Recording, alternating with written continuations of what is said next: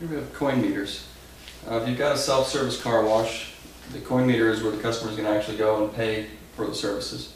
You can get them to where they accept coins, dollar bills, five dollar bills, ten dollar bills, or a combination. Um, for the international customers, they can be easily converted to accept foreign currency as well. Um, they can be used with your existing car wash equipment. They can basically be wired into any any type of car wash system that you have already, or work with the new ones as well.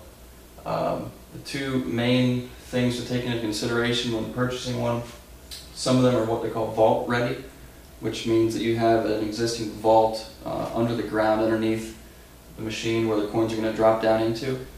If you don't have that in place already, you can get one with a coin drawer, which is a locking box on the coin meter itself that will store the, the coins.